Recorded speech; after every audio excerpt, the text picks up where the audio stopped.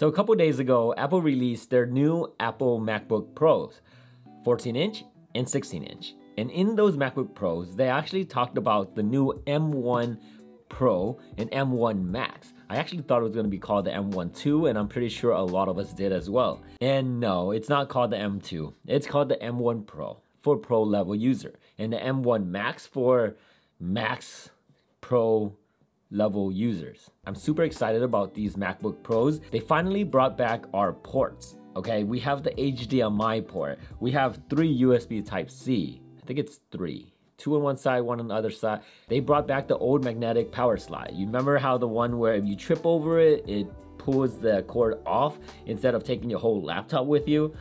I love that. And I love the fact that I brought it back. The only thing I hate about it is that now I don't know what to do with my old MacBook charger. They also have a microphone jack. And a lot of people might say, who uses that anymore? But actually I do. Sometimes I don't have my AirPod Pros or if it's charging, I sometimes I just want to plug it in because it's so easy and I don't have to think about connecting it. The best part about the slots is that they finally gave me, or not just me, but the SD card reader.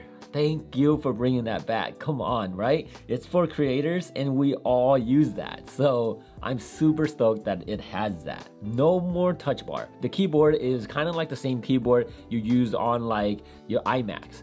It's the kind of like the same style and the keys are brought back to normal. It has a clickable sound just like how we like it. The screen is also different. No more big borders around. They minimize that.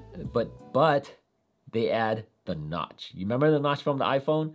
Yeah, they added to the MacBook. I actually don't have a problem with it because I rather prefer that than the big black border. And then plus they raised it, so like you know the part where it says Safari, nope, nope, the Apple logo, file, edit, and stuff like that folders.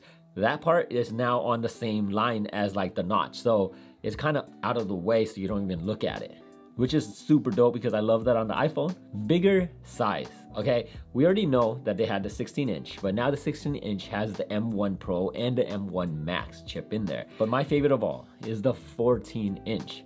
Okay, I've always said the 13 inch was kind of small for what I do, but the 16 inch is a little bit too big for what I want. The 14 inch is like the perfect size that I've been wanting.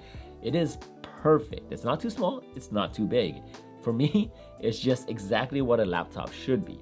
Because I use my iMac most of the time when I'm at the studio and now I have my laptop where I can just bring around anywhere and it doesn't feel too small to edit on. The M1 was already a good chip. Like I have the M1 MacBook Pro and I thought it was great. Like the battery life lasts forever. I can edit 4K videos, but once I start color grading and adding more 4K videos, it started slowing down. But I can add those and it works. So if I did one layer, oh man, it's perfect. And now they have the M1 Pros, even faster. I think it was like 70% faster. That's crazy. Like 70% faster than what I already did. That's insane. Now the M1 Max is even faster than the M1 Pro. We're talking about some powerful laptop. I knew that Apple was gonna release some type of laptop, right? And new chips, something better. And I'd be like, cool, man. That's that sounds pretty cool. That's pretty good. I might not upgrade. But then when they release this, I'm like, this is like you threw everything at us. Apple threw everything they got. Just here you go. This is what we have. Here you go. Here you go. You can have it all.